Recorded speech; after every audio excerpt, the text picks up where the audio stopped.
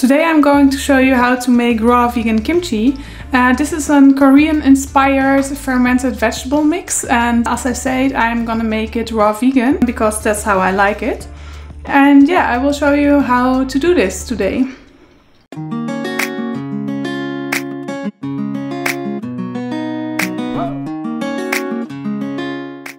So first for the equipment we will need like a big bowl. I'm just using this simple big metallic bowl. Then also we will need a clean old tiled cover, a little bowl for the salt, a tamper to just tamp everything into our jar later on. This is just what I use.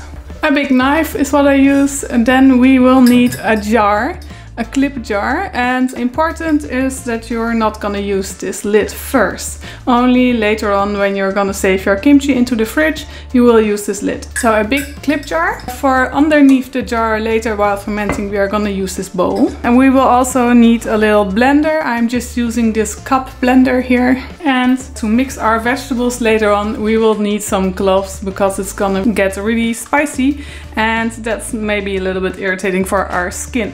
We will also be using a normal kitchen scale to measure the amount of salt we need. And then for the ingredients, we will need, of course, our Napa cabbage or Chinese cabbage. And this is kind of the base of our kimchi. Then besides the cabbage we will need some radishes and I am just gonna use like these little red radishes but you could also use a daikon radish just like this one.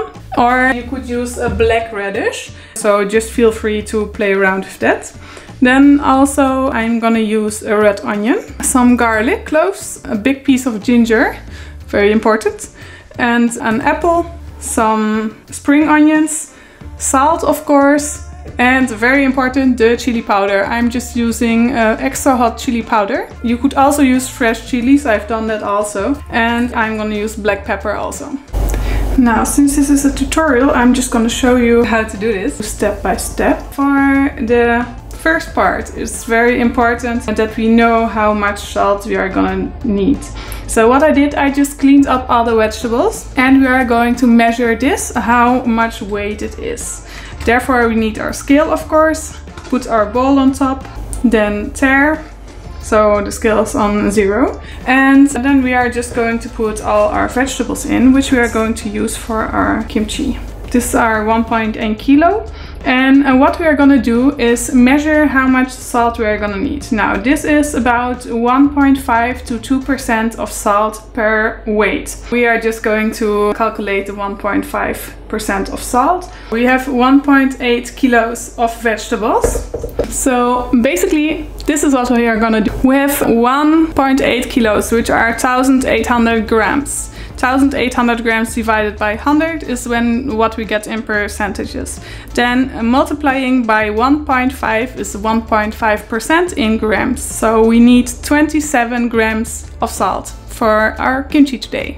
So we need 27 grams of salt. We tare it, so it's on zero of course. And then we will just start adding in our salt. You need to make sure to have enough salt so you don't have any bad bacteria growing on later because the salt is going to prevent it from that. So this is the amount of salt we will need and yes, this may look like a lot. And yes, of course, it's a lot of salt if you would eat it at once. But I hope you don't finish the jar of kimchi at once later on. so uh, yes, this is a lot of salt, but that's just what we need for the fermentation. And what we are going to do next is just putting all our vegetables out of the bowl again. So of course, very important to always work with clean utensils because especially with fermentation, we want to get the bacteria growing. So we don't want the bad bacteria growing. So the first step here now for the further prepping of our kimchi is our cabbage. We are going to use our cabbage first and this is very important. Just make sure you save some outer leaves, like about two leaves for later because we will need this to hold the kimchi down in our jar. So these can just go aside first and then we will cut our cabbage. And there are multiple ways to do this.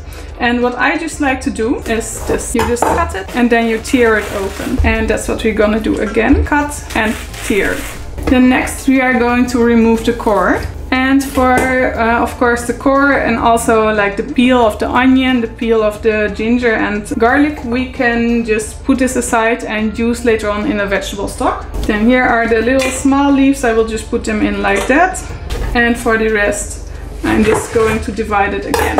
I like my kimchi just in a little bit longer strips, just like this. But of course you can make different variations. You can make smaller strips. Another way you could cut your uh, cabbage is in strips like this, of course. It's also possible, also very good. And the bigger you cut the pieces, the longer it will need to sit with the salt later on. And the longer it will take to ferment them. So if you cut it all smaller, it will go faster with fermentation. Now we have our cabbage here. And what we are gonna do now is pouring over some salt on the cabbage. Now by time you won't necessarily need to measure the salt because you can just eyeball it. That's what I do most of the time since I make kimchi already over about three to four years I think. Now we are just going to mix the salt in here and then we are just going to massage it in. So just press on it and massage. Now this may seem a bit brutal, but this is just what we need to do. And then when we have salted our kimchi, just go rinse your hand from all salt.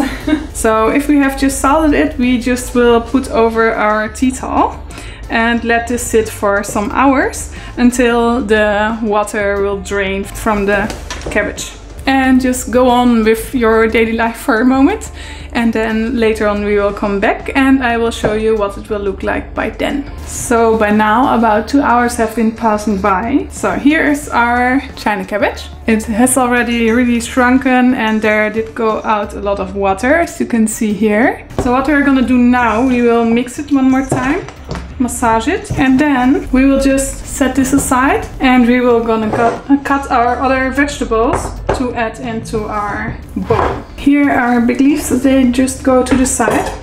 First we are going to cut our radishes and I'm just going to slice them very thinly and the reason I'm using these little radishes is just uh, because I really love the pink and obviously this is not going to stay like this so the pink will just fade but the nice effect of this uh, is that the pink will just go through all of my kimchi and that will make really nice pink kimchi. We will just cut our radishes into slices and they just go into our cabbage as well. Now you could also use a mandolin slicer to slice your radishes, but I'm just gonna do it like this. Now we have this cut and we will just mix this in very well. So this way also our radishes get coated with the salt and therefore they will also release some of their liquid and they get softer, which makes it easier to of course pound everything into the jar later on. Meanwhile, I will just prepare the other ingredients. Now here in my bowl, I'm just going to put some ingredients for the sauce. And the sauce is what we will make with the liquid from the vegetables and these ingredients. Some garlic, some ginger. And even though this is going to go into the mixer, I just like to cut my ginger in slices. So the ginger grows like this. Therefore, I want to cut it in these type of slices. So the fibers get cut short and therefore it's easier to mix it. Also we will use some uh, red bell pepper in our sauce because that gives a little bit extra of a nice red color into our sauce. Now I'm just cutting it a little bit smaller because that's making it easier to mix later on. Also for our sauce we are going to use one apple. Now you can use a little bit of a sweeter apple, it doesn't really matter that much. Of course the taste will vary a little bit depending on the variety. We are just going to use one little apple and this is because I want some of the carbohydrates from the apple to help the fermentation because good bacteria, they uh, grow with some carbohydrate as their food. So therefore it's good to have some into our vegetables and just makes the fermentation even easier. So, so far for this sauce. And then uh, I will cut some more vegetables to go in with our cabbage and our radishes. You can again just use a mandolin slicer, um, but I will just slice this thinly. Same for the onion, just slice it very thinly. Now you can also use some onion in the sauce, but I think we will get enough sauce anyway, so I would like to put it in there because then we have the texture and of course the color pop in our kimchi. That's also why I like to use different types of onions because of the pop of color you will get. Now for the green parts here, I will just cut them a little bit shorter and they can just go in like that. And for the ends, I just like to trim them in half and then cut shorter. And an easy way to do this is just go in the middle here and cut and then just go down. This way they can just separate easier so then we can just go ahead again and mix this very well. And tear the onions apart. If you just see some, just separate it a little bit. Now this looks already really good and nicely full of color. Very beautiful. You could even eat this as a salad, of course, um, but therefore it's maybe too salty. but uh, yeah, it's very beautiful and it's gonna be delicious. So this is done so far. Um, we are going to put this to the side but first we will just take a little bit of the liquid. Therefore we will just need our mixer and we are going to put some of the liquid into it. And this is going to help mix our sauce. For the sauce we're going to put in those ingredients we just cut. And this is going to help to mix our sauce and therefore we won't need any water. Just cover your kimchi. Oh, and I forgot, of course, we will need some black pepper and some chili powder. Now I just go by feel and I always use freshly ground black pepper because that's just much more tasty and better than the already ground black pepper which has been in your cabinet for I don't know how long. Here's what I got, about I would say half a teaspoon. And then we have our chili. Now we can just measure this. And of course this is a very very spicy chili powder and I am going to use about two teaspoons, which will definitely make your kimchi very, very spicy. And uh, that's just how you like it. And you can go at the it's of course it depends on the quality of your chili powder um, or if you use fresh chilies uh, what type of chilies. Lots of different kinds of course. You can even use jalapenos and and habaneros and, and whatever you have. Um, I'm just gonna use chili powder today. I often also do it with fresh chilies. And keep in mind that it will, during the fermentation, probably get even more spicy or more intense. So here we are with our sauce ready. And uh, this is of course very spicy and very salty. It's not extremely red. You can put some extra paprika powder to make it even more red. But to me that's not really necessary. I just like it like this. And of course depending on the amount of spiciness you can handle, you can just use more or less chilies. Oh, if you can't handle the spice, just go without the chili. The garlic and the ginger will also have a little bit of spiciness to them, but I think that will be fine. And this is also uh, where our cloves come into place. Because we are going to mix this and this is of course spicy so not very comfortable on your skin eventually and uh, I just always wash my hands with my gloves on again um, because I of course also want to have clean good gloves. And then we are just going to mix it very well. When we have mixed this, make sure you have already got your jar ready and your tamper. And what we're gonna do now, this might get quite messy. We are just going to put everything into our jar. I always rinse out my jars with clean hot water before. And then also our bowl comes in handy because when we fill up our jar and press it all down, which we are gonna do now, it might overload. Now you can just go in with your gloves and your hands to press this down first. And then we fill it up even more. Now, first what we're gonna do, we press it a little bit down with our hands and then with our tamper. We will just make sure to press it all down so every air bubble can get out and there's no air somewhere between your vegetables. Now if you have gotten all the air bubbles out from down there, this is where our cabbage leaves come in place. And we are just going to fold them and put them into our jar on top of the vegetables because what we want to achieve is that our vegetables are all down under under the surface of the liquid and they are not exposed to the air. Make sure to press all of the air underneath the leaf out and press this down very well. Now, if it doesn't hold together like this, What you might need to do is just add a little empty and hot rinsed glass jar into the middle of your jar to press it all down when you close the lid. I think I will be fine like this. And then you can just fill it up with the rest of your sauce, which makes the jar very, very full. then we can just close it. Again, uh, very important to don't use the rubber lid here. Just close it without, like this and then we will just clean up this mess a bit first. So here we are. We are just done with our kimchi for today and I will just show you quick. It's very good. And I just cleaned up my mess here. we are just going to place it in this bowl and then we are going to place it in a dark spot with our towel on top I also oftentimes like to just put a, like a plastic tray beneath this again because uh, what happens, the kimchi really likes to overflow when it's fermenting. The bubbles uh, start to come from down here and those bubbles are just gases the bacteria produce while growing and they will just press out our kimchi sauce and then it will start to overflow and uh, you don't want to stop the overflowing by just putting in the rubber lid here uh, because uh, the pressure will also grow inside your jar and of course that can get quite dangerous if you just close it and let the pressure build up.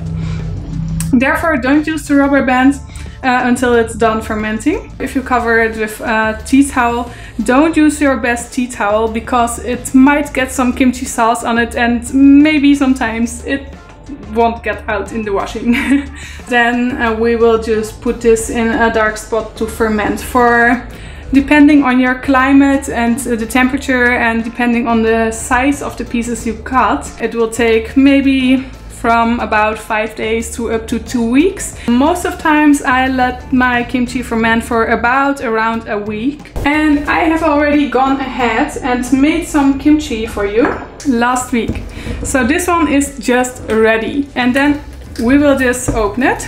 Oftentimes you can really hear the plop because it will build some pressure even in the fridge. If it's ready fermented we are of course going to use our lid. And as you can see the juices really have gone away here. So it's almost all air bubble. And here are our top leaves.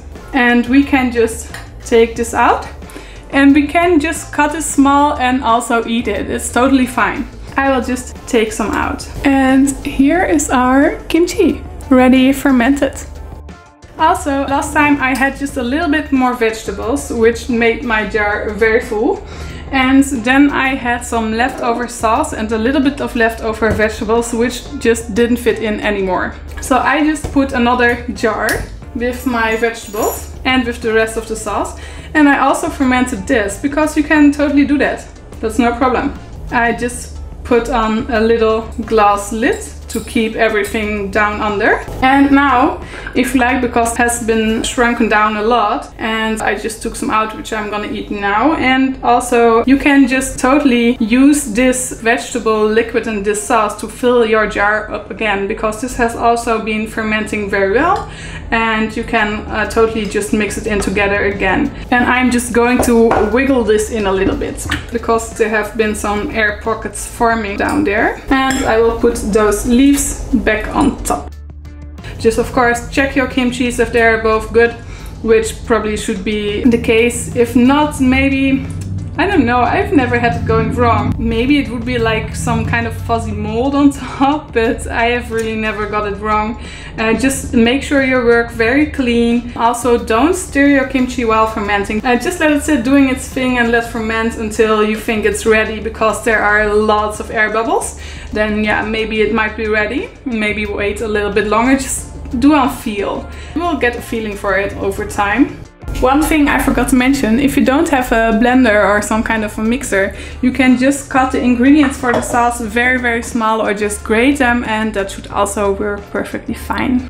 Also, you can just use the sauce from the kimchi to put into your, I don't know, miso soup or whatever you like, or in a dressing. And also cut your kimchi maybe smaller and uh, stir it into a salad. You can do lots of things, put it into your soup, um, on a sandwich maybe even, maybe even with avocado or whatever you like, and just enjoy it. Uh, don't eat too much of it because of course uh, there is a lot of salt into this kimchi. And it's of course full of uh, nice probiotics because this is fermented, so it does contain good bacteria, which is good for your intestinal flora and for your digestion also. And this is of course quite spicy, so don't eat it maybe on an empty stomach, just eat it with something else because if it's spicy like mine, it may upset your stomach a little bit. Also, what I want to mention, your kimchi can turn out every time a little bit different. It's almost never gonna taste completely the same because we just handle different produce and it's not always perfectly the same quality. Like sometimes your cabbage is maybe a little bit better than the other time or just grown somewhere else and it might have some different bacteria on it and therefore it's always gonna be a little bit different. Now I'm fermenting kimchi already since about three to four years regularly and I have even fermented my own kimchi while traveling Indonesia so just in my little room I just made some kimchi and yeah I enjoyed it when I was in my room.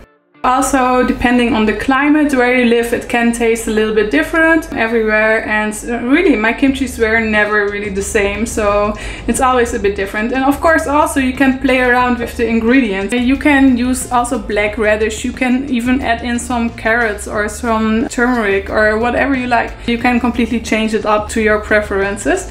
Just keep in mind the amount of salt. It always needs to be about 1.5 to 2% of salt, and you will probably be fine. So um, yeah, just play around with that and change it up. And if you just handle it, always very clean. Always use clean utensils, very important. Don't eat right out of the jar. you should really not do that. Just use always clean utensils, put your kimchi in a bowl and eat out of the bowl. And then if you put your kimchi into your refrigerator and it has been refrigerating always very well, I have had kimchi that is over a year old and which was still very good because I left it at home in the fridge of my fiance while I was in Bali traveling around uh, Indonesia. And uh, when I got back, like about half a year later, um, my kimchi was still perfectly fine and I enjoyed it uh, a long time. Of course, always use your senses. Just does it smell still good? Does it look still good? Is it still some kind of crunchy? Just use your senses to check if it's good or not. But usually it should be. And it's just a beautiful. I just love my kimchi. And yeah, I just enjoy it regularly yeah, this is just how I like to do it. If you have any question, if I uh, missed anything, just drop it down in the comments below. And if you made my kimchi or some kind of kimchi with inspiration of my recipe, just uh, tag me maybe if you post it on Instagram or Facebook and let me know how you liked it.